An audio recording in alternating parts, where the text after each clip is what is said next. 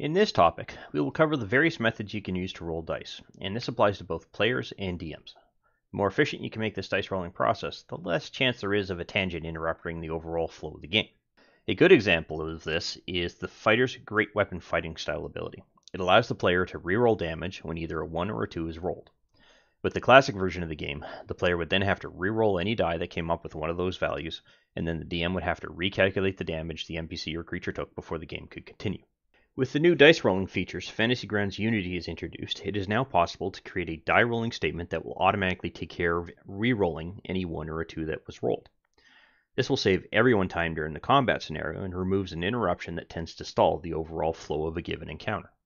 With that in mind, let's get started with the first thing players will have to do when they are first introduced to a Fantasy Grounds interface and are connected to the DM system. Rolling ability stats. As many of you may already know, in 5th edition Dungeons & Dragons there are six primary stats. Strength, Dexterity, Constitution, Intelligence, Wisdom, and Charisma.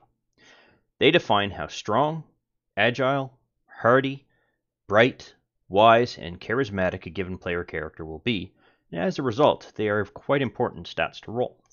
Fantasy Grounds Unity, however, has given you, both the DM and the player, a number of ways with which to roll these actual stats. The first method is to simply take a die 6, much like this, while holding down the left mouse button, uh, right click on it three additional times, and then roll the particular dice within the chat window. The problem with that is, is that it is cumbersome you have to literally pick up the die, right click three more times, and then roll. And you have to do that six times total. A more efficient way to do this would be to right click on the die 6, select the 4, and you don't have to keep holding anything down. Um, as long as you don't touch any other buttons, the die will remain within the, the control of the cursor. And then you roll them by clicking on the left button to release them. The problem is that is still not overly efficient. A more efficient way would be to, once again, right click on the die, grab the 4, but instead of rolling it within the box, drop it into one of your quick slots. Now all you have to do is click that six times. Don't think I clicked it six times, but whatever. Now you have all of your stats. But you as the player and you as the DM still have to do some additional math. There's actually an even more efficient way to actually go about doing this. In the old version, uh, Fantasy Grounds Classic, there was the option to right click on this die and then select um, an option that allowed you to roll the die uh, specific for the attributes and it would automatically drop the lowest dice. However, that feature is not here in the Unity edition. What is here though is this command um, 46, 1.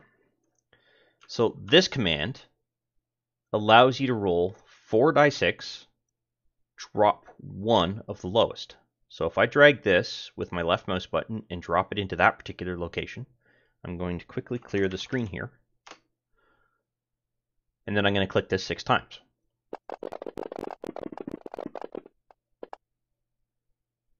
not overly great rolls. But what you'll see is that when I rolled each of these particular die, you'll see one that is grayed out. And what that means is that that number was the lowest dice out of all of these particular rolls in a given set of rolls that was automatically dropped from the overall total that was here. So if you take the 3, 3, which is 6, add the 5, gives you 11. If you take the 4, the 2, that gives you 6, plus the 1 gives you 7. As you can see, the 1 that is here is not added to the total value of this particular uh, result. Um, this is a far more efficient way to actually go through and calculate your stats. There's no additional math required. You can literally just drag and drop